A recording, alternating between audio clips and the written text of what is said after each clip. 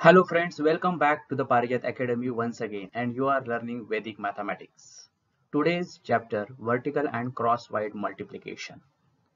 Here in this multiplication we can able to multiply any two digit number by any two digit number so random numbers. So before starting this uh, chapter we have to draw this figure two dots by two dots like that and then make three columns of two dots by two dots. In last column you have to connect last two dots. In middle column you have to cross connects of all dots. And in first column you have to connect first two dots. First draw this figure in your notebook. Then we will go with some multiplications three multiplications. First we will go for 53 times 41 so it is a two digit multiplication to we have to make three columns like that. Then we will go according to our figure.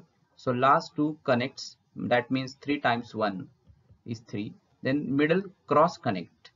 So 4 times 3 is 12 5 times 1 is 5 so 12 plus 5 becomes 17 and first two dot we have to multiply.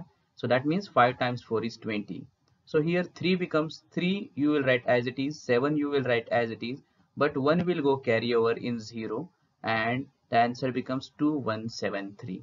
Answer becomes 2173. Here we will go with 89 times 22. So again I will make 3 columns. Then 9 times 2 is 18.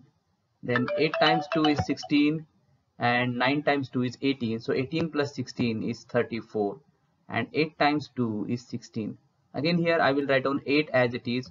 1 will go carry over in 4 and 3 will go carry over in 6 so our answer will be 1958 answer will be 1958 again 81 times 19 I will make 3 columns. 9 ones are 9 8 nines are 72 1 ones are 1 72 plus 1 is 73 and 8 times 1 is 8 so I will add 7 in 8 so our answer will be 1539 our answer will be 1539 great fantastic. So this is the unique calculation technique where you can multiply any number by any any number. So there is no any condition no any restrictions. You can any digit any two digit you can multiply with any two digit number with this vertical and crosswise multiplication. So students do practice at home regularly and solve online tests given in this course. Thank you once again. Here we will go with some more examples. 63 times 31 so 3 ones are 3 then 3 3s are 9 6 ones are 6 9 plus 6 is 15 6 3s are 18 so one will again will get carry over. So our answer will be 1953 answer will be 1953